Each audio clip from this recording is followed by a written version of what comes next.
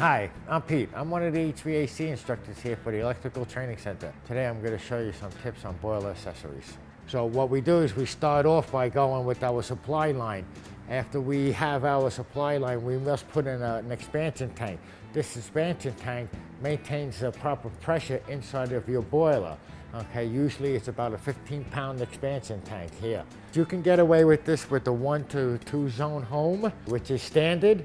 But I'm just, as a mechanic, I like a 30 because I want to make sure that I have enough pressure in my system to carry it up to the second floor loop.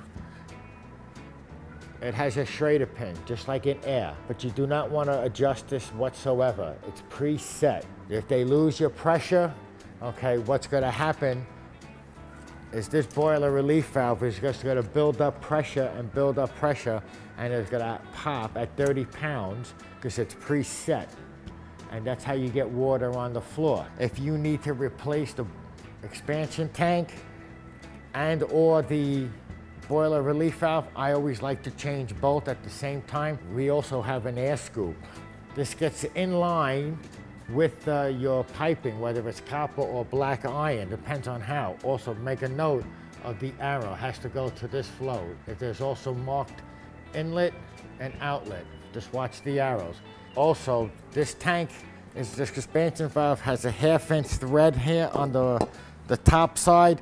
This also must be doped, either with pipe dope and or Teflon tape and it has to be left in the vertical position for this to operate. We, we screw it on the bottom of the air scoop. We don't want air in a system due to the fact that the air will restrict the water flow. It usually is at the highest point of the boiler. This is an air vent. This here must be feel free. Do not break this or bend this.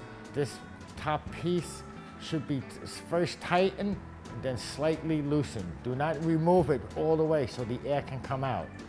Also, we have threads on here. This must be either doped with the pipe dope and or Teflon tape. Screws into the top. and this is the way your, your venting of the air from the boiler should be. I always like to put these on a supply line coming off the boiler so you know that the water is gonna flow properly.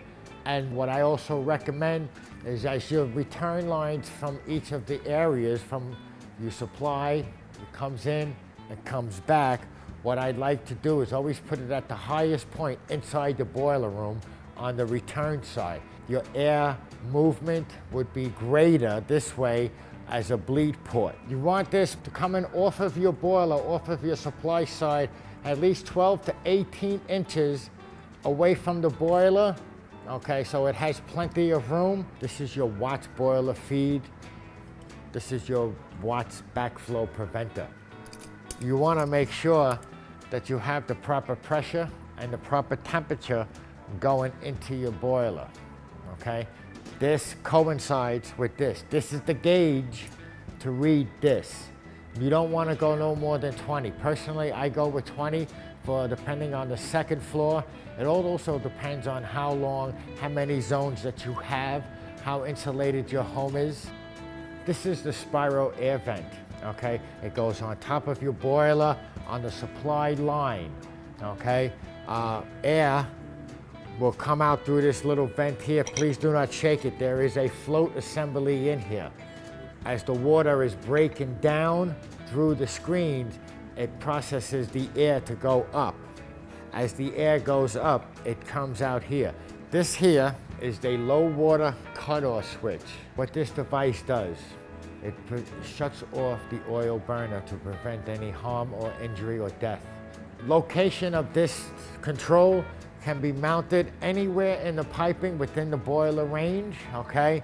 And all it is is just a T-fitting or two and just make sure the water is turned off screw it in. Also remember, before you screw it in, you do have a threaded connection, either pipe dope it and or Teflon tape. It screws in.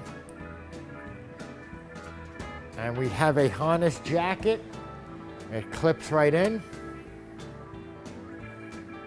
Make sure it goes the same way. And this will get tied into your boiler control. For more information on learning and servicing heating equipment, visit electricaltrainingcenter.edu or supplyhouse.com.